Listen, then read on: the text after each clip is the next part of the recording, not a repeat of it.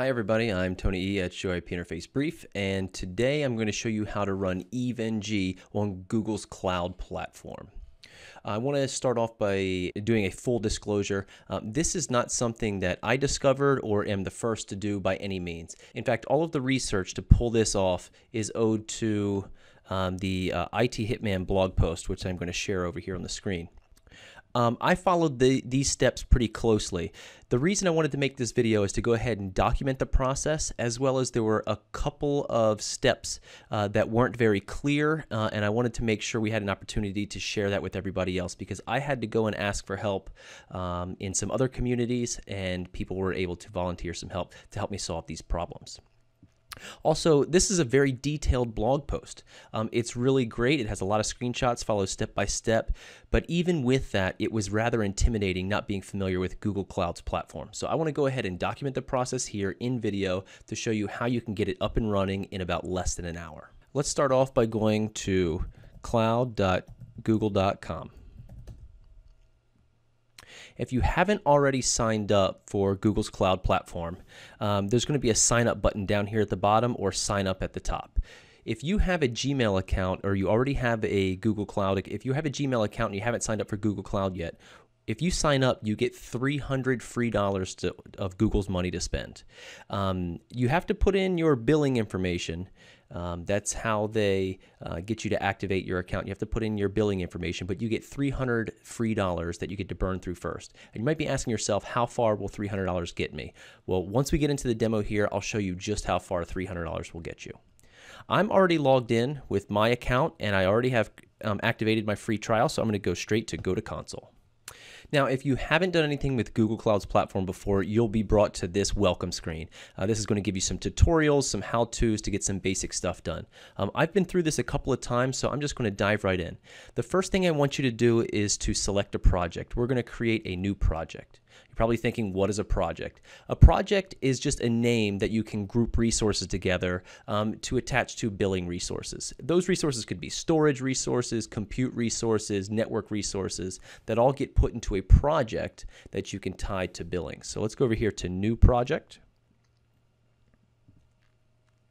And we just have to fill in a couple of bits of information. We have to give it a name, um, and we can ignore the organization uh, for now since this is a personal project. I'm going to call it EVE-NG. I'm going to click Create.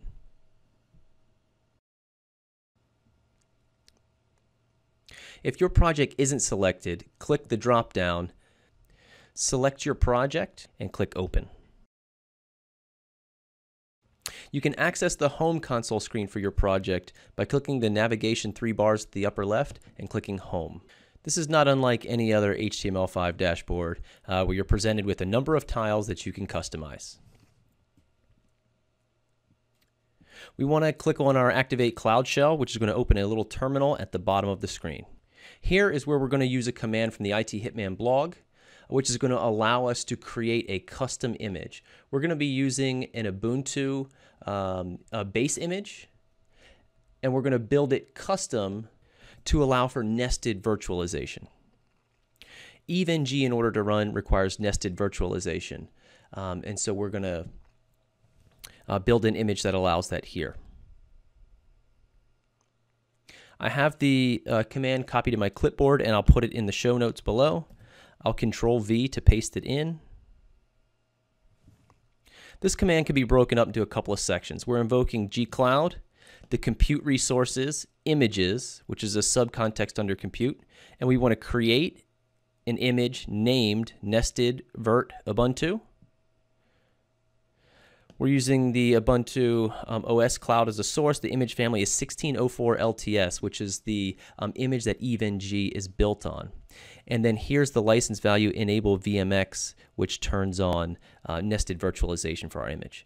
Once we hit enter, this is going to take about two or three minutes to execute.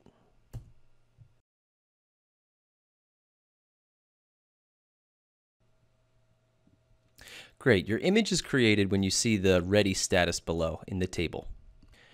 Now we can close this um, Access console and begin to build, a, build our VM instance.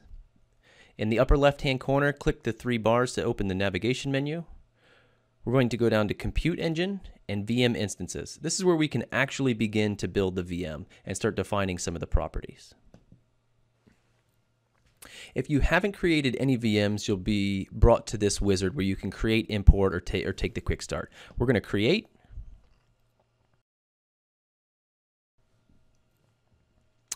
Before we just next, next, next our way through this screen, I want to talk about each field here so you can understand exactly what you're doing and what options you have available to you.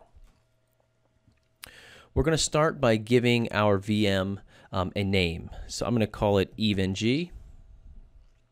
The next option you have to choose is your region. I've done this a couple of times under a couple of different accounts. And what I found was originally I did it in the US East 4, the Northern Virginia, at the Ashburn uh, data center. And what I found there was is I was locked into a premium tier for the um, for the networking, and I couldn't change that down to the standard tier. So what's the difference between the standard tier and the premium tier? Um, there's going to be a little help a little bit later, um, but it charges you a little bit more for the premium tier. One and and then again for the different zones as well. What I found was is once you create a VM in a region, you can't move it from one region to another. You can't migrate it seamlessly. So what you actually have to do is shut down your VM, export all the data, and then import it into a new region. Um, so what I did is actually just knock it down and build a new one in the proper region. So South Carolina for me um, is the closest to my area. You want to choose a region which is closest to you typically something closest to you is going to give you the better performance, um, lower latency and better performance. Uh, South Carolina for me is the cheapest one because it gives me the standard tier options. Zone B is fine. I'm going to leave that alone. Next is our machine type. Here is where we get to choose the resources dedicated to our VM. By default, it gives us a, um, a normal value of one vCPU and almost four gigabytes of memory. This is going to run you about $24 a month, almost $25 a month. That's based on 730 hours of uptime. 730 hours of uptime is just over 30 days. It's not quite 31 days. This, this projected cost increases as your resources increase. So there's a couple of um, suggested um, pairings here. For example, eight VC, um, eight vCPUs and 30 gigabytes of memory is going to cost you a whopping $194 a month, almost $200 a month, if you keep this running for 730 hours. Now, if you have just activated your Google Cloud Platform account from your existing Gmail account, you get 300 free dollars to spend. You can absolutely run this all month long um, and, and, stay within the margins of your free $300. What's even better is, is if you don't keep this running all the time, you only pay for the time that your VM is running. So you don't actually pay for the downtime. There's a couple of small charges when you're down for static IPs and persistent storage and stuff like that. Um, but the, the bulk of your fees come from your uptime. So my plan is, is to give myself some decent resources to run the topologies that I want to run uh, and shut the VM down when I'm done so I can stretch out that $300 for as much as I can. Now, if you're studying for like CCIE data center or CCIE service provider where you need to run IOS XR or XRV images, um, or you want to run the um, CSR 1000Vs and a whole bunch of them, or you want to run a Nexus um, and you want to run a whole bunch of them, this is a great option for you you can stretch your resources um, not infinitely, but far beyond uh, what most of us have in our homes. Um, and this allows you to do it on Google's dime. So for the labs that I'm going to be working on, I'm going to do, I'm going to customize. So I'm not going to choose one of the predefined ones. I'm going to click the blue customize button, which is going to give us a couple of sliders where we get to slide the CPU and slide uh, the memory over to what we want. So I think to achieve what I want to do, I actually want to go back to the basic view, drop to a lower tier, and then customize.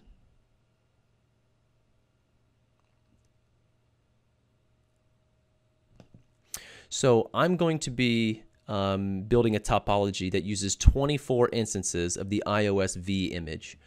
Um, the IOSv image doesn't consume a lot of memory uh, during startup or when it's running, but it does consume a lot of CPU during startup. So I'm going to give myself four CPUs and four gigs of RAM. For our CPU platform, I'm going to choose Skylake or better. Leave our GPUs alone.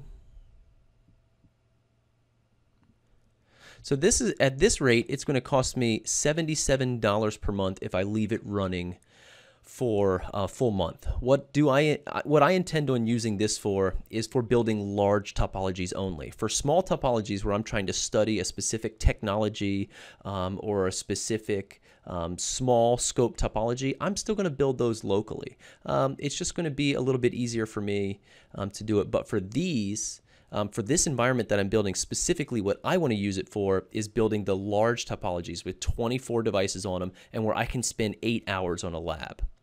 Um, so after the eight hours is done, I can shut this VM down and it's not going to cost me $77 per month. It might cost me a dollar for the day, or it might cost me um, $3 for the day, maybe.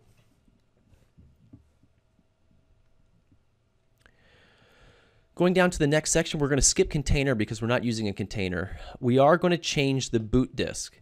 Um, this is going to be the, uh, the base image, uh, the one that we created in the previous step. Let's click Custom Images at the top and select the radio button next to Nested Virt Ubuntu is the image we created. At the bottom below, we're going to do Standard Persistent Disk. And this is uh, Ubuntu 16.04 LTS with EVE-NG on top. It doesn't need a lot of disk space for what I'm using, but if you are going to be building larger topologies with the larger um, Nexus or um, um, XRVs or any of the things that require um, an ample, make sure you're giving yourself ample disk space for the topologies and the images you want to host on it. Um, for what I'm going to do, 25 or 30 gigs um, ought to be enough.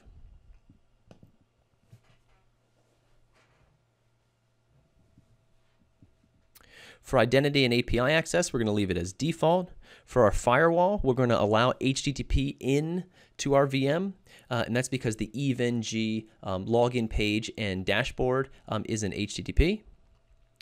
Let's click the blue link below it for Manage Security Disk Networking and Sole Tenancy so we can get to the networking details. Click the networking link and the small pencil so we can edit the settings.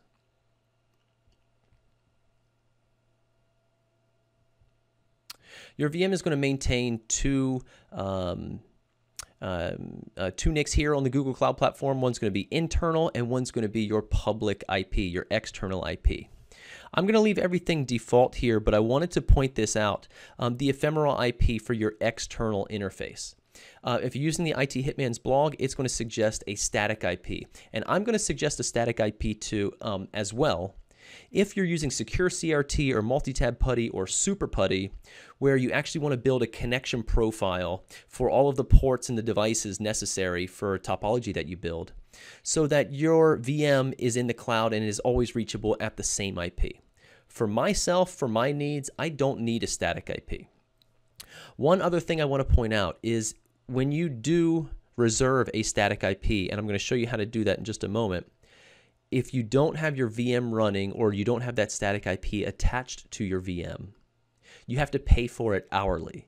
Now, I believe it's cents on the hour, but still it's going to cost you hourly. So, uh, Google Cloud Platform is a for profit um, operation. So, they are going to try and give you services that customers need, um, but they expect customers to pay for them.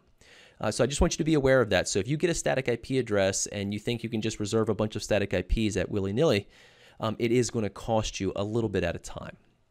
Another thing to point out was here was what I was mentioning about the regions, one of the very first things we chose. I put mine in the South Carolina region, and that allows me to change to the standard network service tier. In the um, US East 4 in Northern Virginia at the Ashburn Data Center, premium is the only available network service tier. Um, that's fine. I think here we can get some more information on exactly what that is.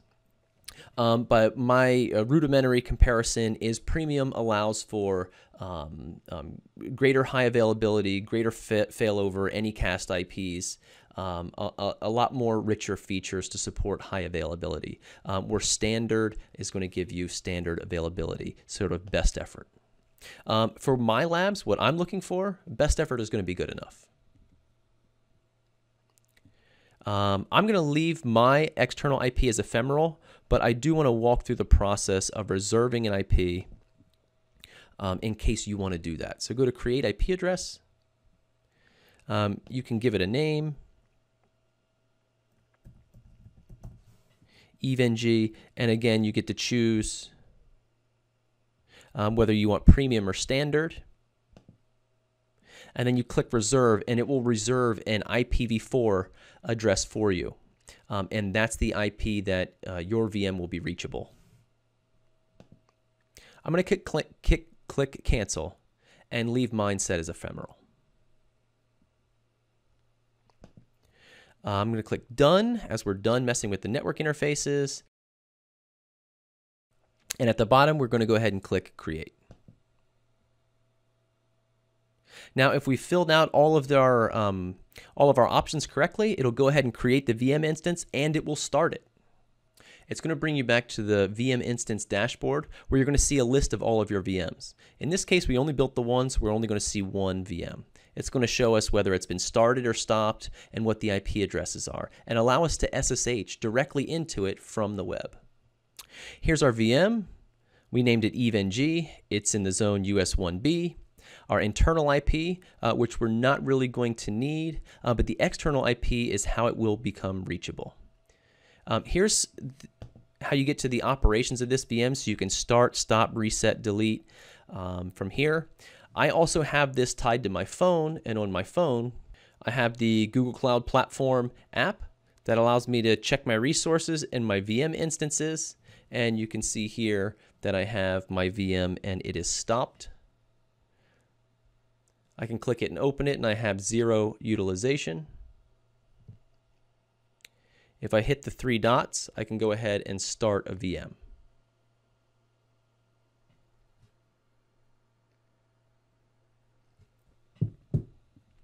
So it's pretty cool because actually on the first night that I built this initially, um, I left it running and it was the first time I built it. So I built it with eight vCPUs and static IP addresses and 60 gig hard drive and gave it a ton of RAM. I didn't really know what I was going to need. Um, and I left it running all night and I just picked up my phone that was on the nightstand. I got the Google Cloud app. It linked to your account right away. I found the VM. I clicked stop and it was shut down. So it's really cool. So if you want to get a lab started, you might be able to start this from the car on your way home uh, and be ready for a lab once you get home and, uh, and into the uh, into your office. So here we're going to use the SSH. We're going to SSH into the VM, set up uh, root, um, do a couple of operations from here, and then we'll do a reboot. This is going to open a uh, HTML5 uh, browser window that allows us to SSH directly into the VM. This is where we'll actually set up reachability so then we can use SecureCRT or multi-tab PuTTY or whatever uh, terminal you're choosing. I'm going to be using regular PuTTY to be able to um, SSH into this VM. Uh, the first thing we want to do is assume root and set a password.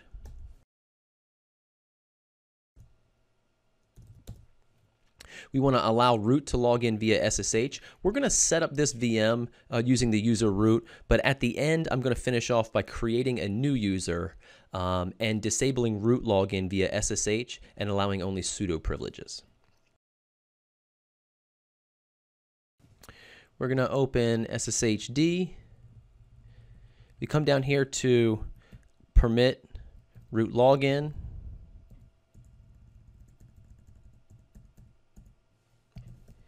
Yes, and we want to allow uh, password authentication. Now, if you're going for a high, highly secured VM, you probably want to use um, authorized keys.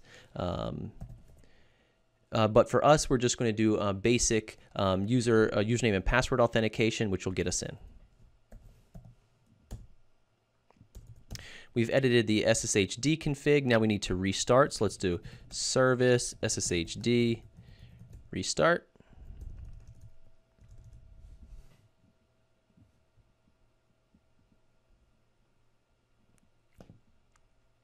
I'm going to come back here so I can grab our static, or excuse me, our public IP. I'm going to open up PuTTY.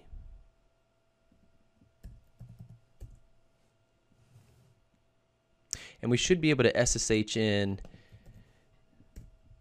using the user root now to finish our installation.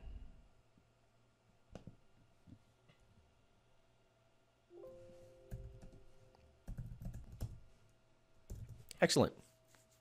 So now we're able to reach um, our VM via a public IP address, um, logged in as the user root um, from a local PuTTY session on our desktop.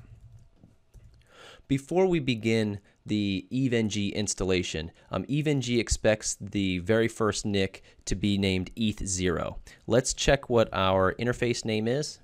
It's called ENS4 let's go ahead and um, and name that ETH0. So for that, as root, we're going to edit uh, etc udev rules.d 70 persistent. Go all the way over to the right and replace ENS4 with ETH0. And now we need to do a, um, a reboot.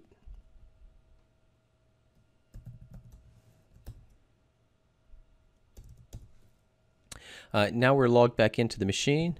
Let's check our interface, and now it is called ETH0. So now we can kind of begin our EVE-NG installation. And for that, I'm actually going to come over here and reference the EVE-NG cookbook um, I've found a, a neat way to get everything that I need right out of the cookbook. Uh, this is on page 44 of the EVE-NG cookbook, uh, which is available from their website. Um, this kind of goes through the process and procedures of installing EVE-NG on various platforms, um, as well as sort of a step-by-step -step guide and screenshots for installation, operation, and maintenance um, I've used this cookbook a lot. Anytime that I had a question about something, I was always pointed exactly to where it was discussed in the cookbook, and um, for for a lot of um, operation and administrative things. Um, I haven't had to use this for installation before moving to the cloud because I just downloaded the VM from their website and run it in ESXi. Uh, but this also includes really detailed instructions for installation if you guys are a DIY or you want to do it from scratch. So I'm going to go ahead and grab this script, which is coming from uh, their website, and it's called the Install Eve NG Pro. And I'm just going to download that locally. I want to open that up.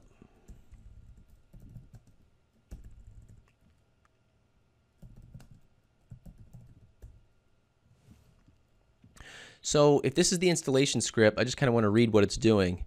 Um, it's going to modify SSHD to allow um, permit root login. Uh, we've already done that currently. Um, and then it's going to go ahead and get the GPG key uh, from their website. So I'm going to grab this. Then it's doing an apt-get update. Uh, it's at it's piping that to uh, apt key add. Uh, then it's doing an apt-get update. Then it's doing apt-get install software properties common. Then it's adding a repository, apt update, install Docker engine, install EVE-NG Pro. Um, it's a whole bunch of stuff in here. So let's start with the, uh, the top thing. We're not going to do all of these things. Let's start with the top. So first thing I want to do is I want to download this key straight from their website verify I have it there. Next I want to do, I'm logged in as root, so I'm going to do a apt key add and the file name, which is eczema. The key has been added. So now let's open up that installation script again and see what our next step is. Uh, apt-get update. And then we're going to add a repository. So apt-get update. And let's add the repository.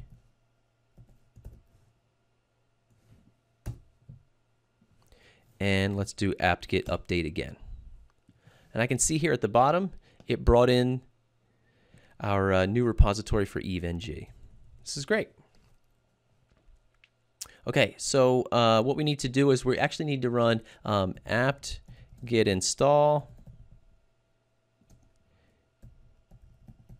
EveNG and we're going to need to run this a couple of times. And during installation, it's going to ask you for um, a couple of input values for setting up MySQL and a couple of other things. So make sure you stay attentive. Um, this is going to take about five minutes total. I'll probably time lapse this.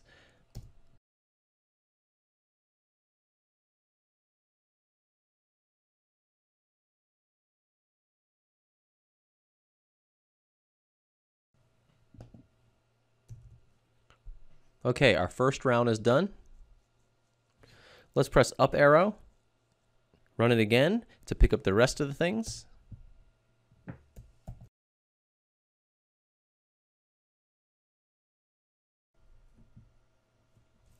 Okay, looks like that process is complete. I'm going to up arrow one more time to make sure everything is installed the way it should be. Zero packages left. Excellent. Now I'm actually going to log out as root and log back in.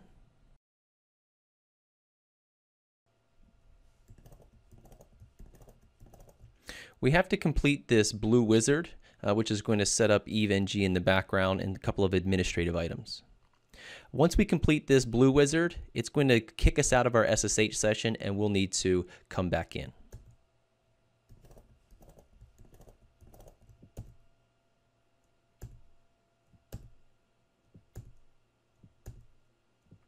I'm just next, next, nexting my way through this. Our session has been terminated.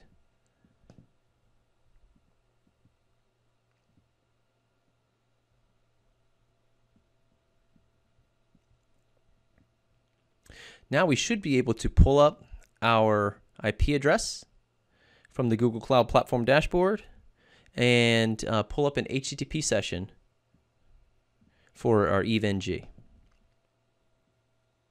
Now this is my first time logging in, so I'll use the default credentials.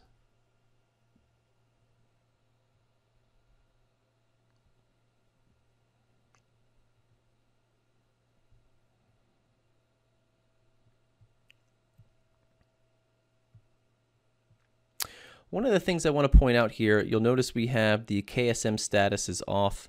Um, this was a this was a problem that I saw that was a gap in the IT Hitman's blog post, which is if we're SSH'd into let me uh, reestablish our SSH session. Accept the new key, root. If I check what kernel we're using, we're using the Google Cloud Platform kernel, which is 4.15. EveNG needs the custom kernel. I actually don't know if it's a custom kernel or just an older one, but it needs 4.9. So I d- haven't found a clean way to do this. And in um, in the IT Hitman's blog, it does ask you to uh, modify grub, but it doesn't take care of this step. So what we're actually going to do is cd over to slash boot do an ls, and you can see all of our uh, files here. I'm going to make a directory called old just to keep these. And I'm going to move anything that says 14.5 into um, grub.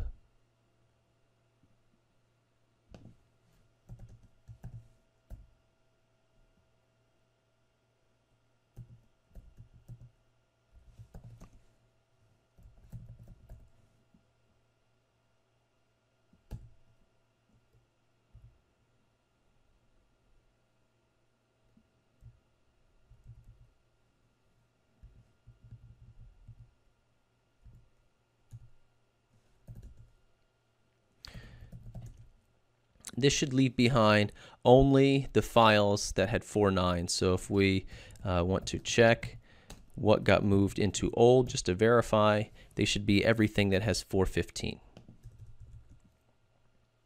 Okay, now back to the cookbook and also the IT Hitman's blog. If I scroll up in the cookbook just a little bit, on the previous page, 43, for example, there is a line in here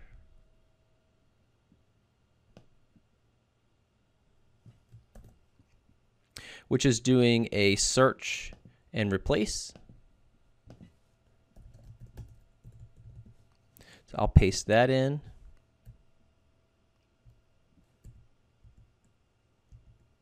Uh, there's a carriage return in here, so I'm going to hit enter. This command will error out, and then I'll up arrow and execute it again.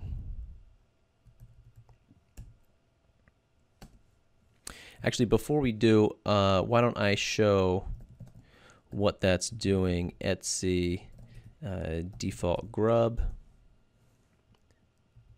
That is changing this line right here and replacing it with no quiet and um, and uh, net.ifnames equals zero, uh, so it will keep the uh, eth0 um, interface namings.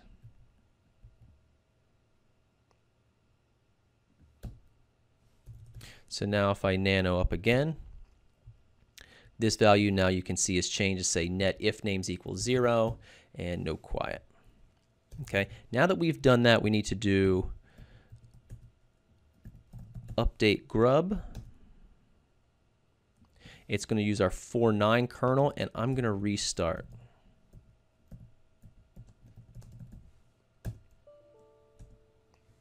We're going to give that a minute to boot again and then uh, we'll try to access our uh, web dashboard. Once we get this fully installed and operational, uh, then we'll um, create our new user and we'll disable um, root from being able to SSH in. Uh, remember, this is uh, designed to be a lab VM. Um, it is it has a public IP address now, and it can be reachable from anywhere in the world, which means it likely will be receiving some attack traffic, uh, probably from all over the world. So we want to try and limit our surface area as best we can. This is not uh, the greatest because we have to open many additional ports uh, to allow incoming connections. But if you chose to use only the web console, you would only need to have um, your HTTP ports open, uh, which helps to greatly reduce your attack surface. Uh, for what I'm going to do, I'm going to continue to use PuTTY, which means I'm going to need to open those telnet ports uh, that are going to expose those um, uh, routing devices.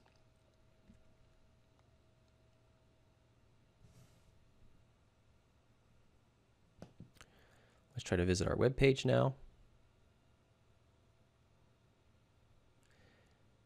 We got an EVE-NG login.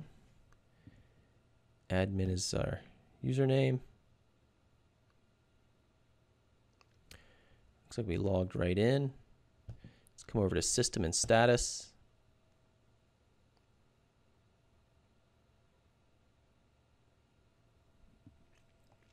And here we are green now, right? So now we're ready to uh, move over a IOSv image and actually build a test topology.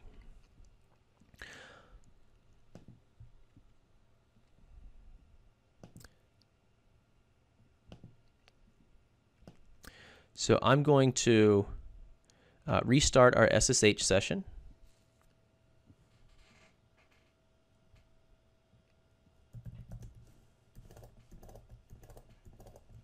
Um, as root. And I'm going to bring over my local EVE-NG VM that I run locally. So if I ls, I have um, a couple of images here for VIOS. And again, I'm going to do this just sort of as a test. So I would just want to move these a couple images over into the same folders. So if I'm in the QEMU uh, folder here and I LSLAH, I don't have anything. Let's create this guy.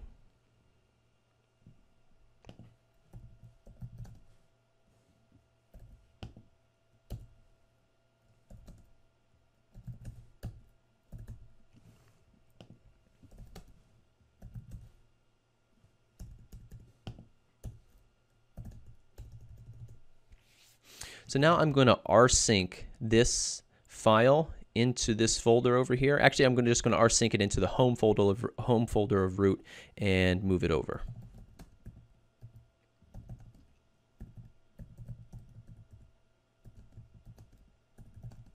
And this is going to be vert, and we're going to do root at our IP address.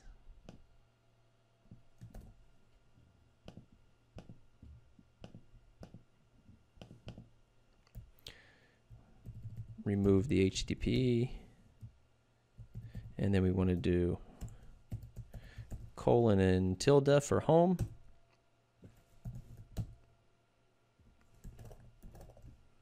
Enter our credentials for root.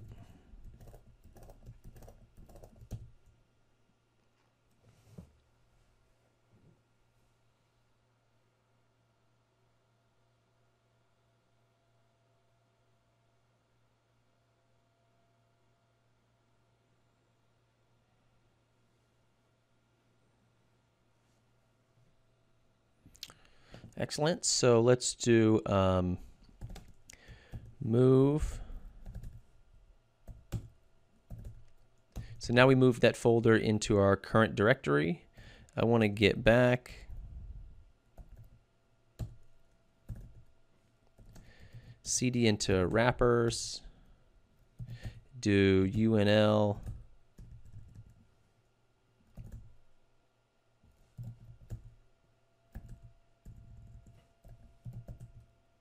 UNL wrapper tech A. Fix permissions.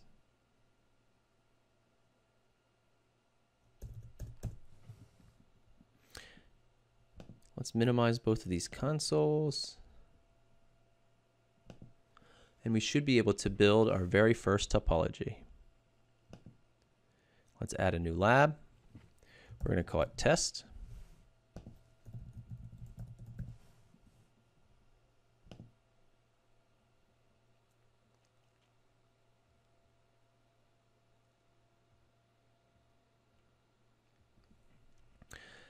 Let's add an object, node, and we only have one image to play with. It's going to be our Cisco VIOS. I'm going to add three. We're going to prefix them by R for R1, R2, R3. Um, I like to use a CPU limit. Um, it's supposed to um, help from maxing out the CPU um, and start slowing down cycles. Um, I still see some CPUs maxed out from time to time, so I don't know 100% the value that it has, uh, but I turn it on from habit. Click Save.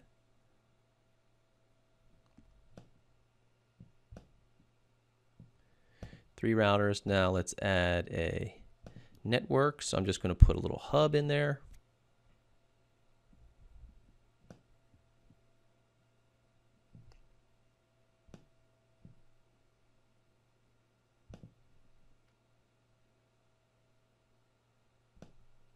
Uh, connect these.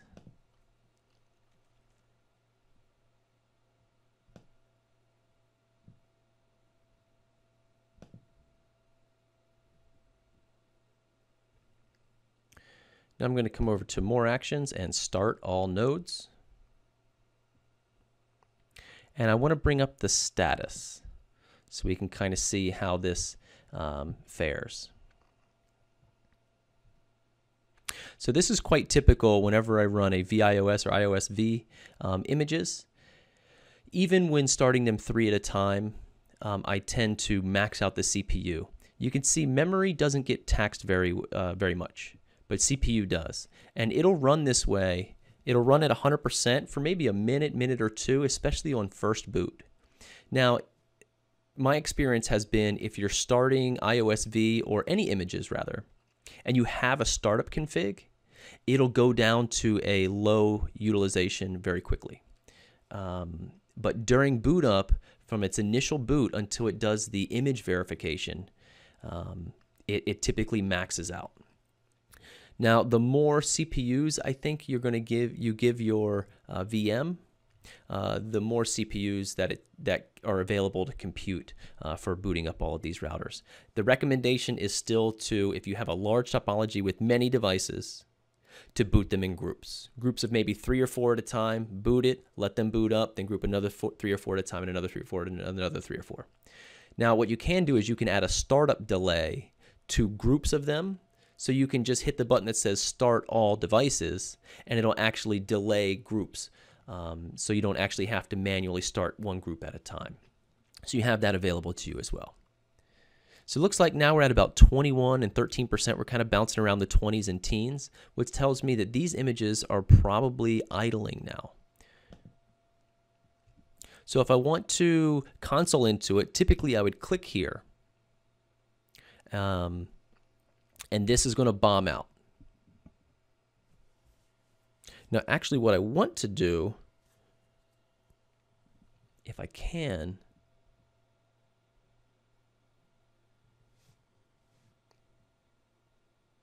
I'm going to let this bomb out all the way to kind of prove a point. The reason this is bombing out is we never went into the Google Cloud platform uh, firewall rules to allow in the ports necessary to allow PuTTY to connect back. Which again, which is kind of what I mentioned earlier about the attack surface. We need to open up a whole bunch of ports to allow PuTTY in. For me, I'm just going to open them sort of wide open because I don't know how many devices I'm going to have at any one time. But what I want to do is actually, if I can log out and log back into the HTML5 console, because right now we're allowing HTTP in. So I want to know if I can control the entire lab through essentially HTML5 only.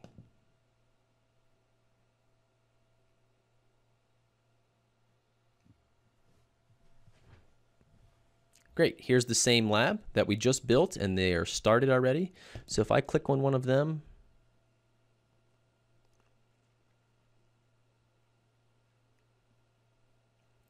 I typically don't use the HTML5 um, console at all.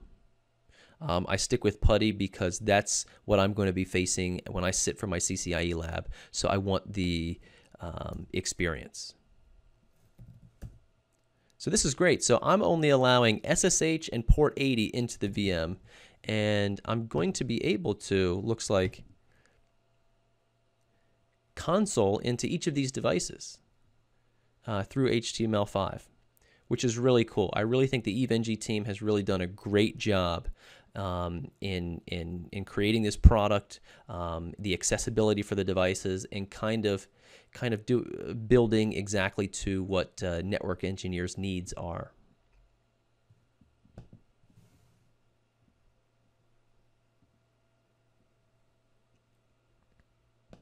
So again, this was one router. This is router number two.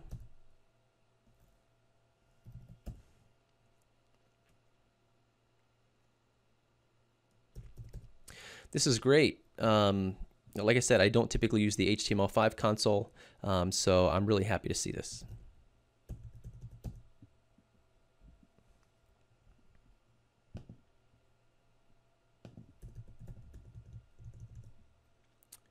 Uh, one of the, I want to point out a log message here, just in case anyone is going to be using EVE-NG for the very first time with IOSv images or VIOS, however you want to say it.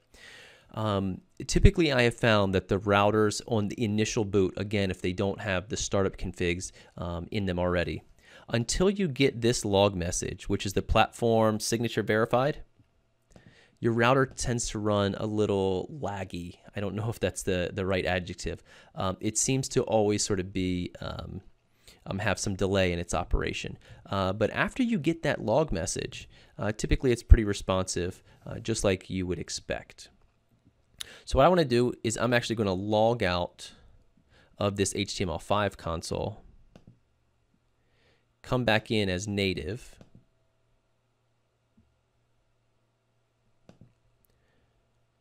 But before I do, I want to allow the ports in uh, that we need. So for that, go back to your Google Cloud Platform. Click the navigation menu in the top left.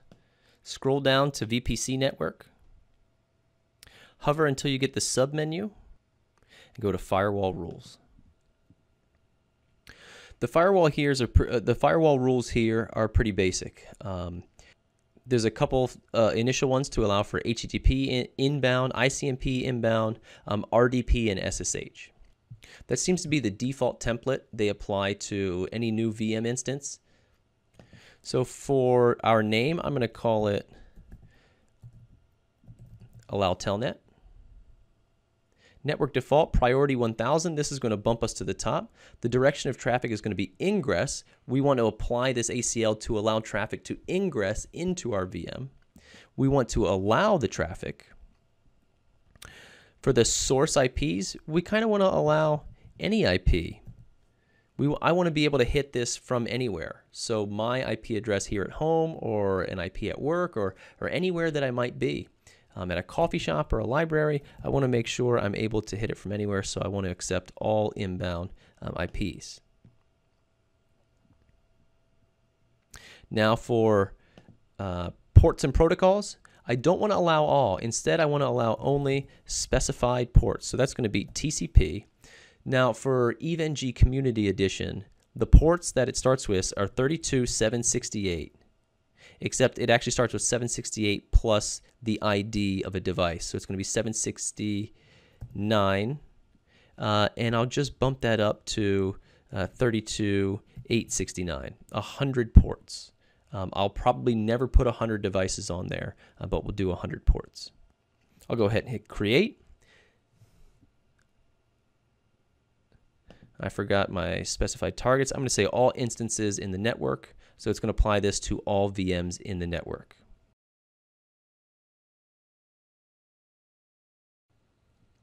And it has applied our rule in the ingress direction, applied to all VMs uh, from anywhere to these ports, and it's allowed, and it was a priority 1000, which makes it sit right on top of our list. Let's go back to EVE-NG, log in again with this, the native console, which means when we click on a device, it should bring up PuTTY for us.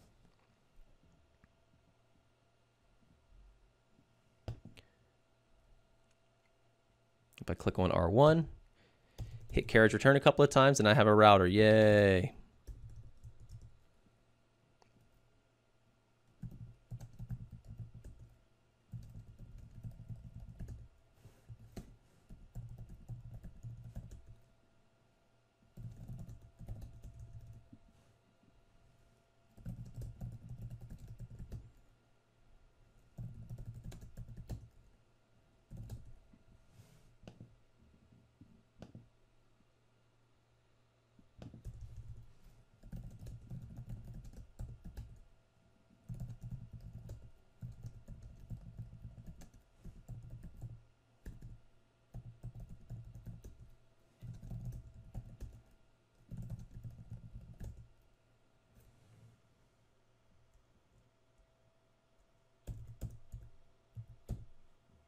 Good. So now we have reachability between two devices.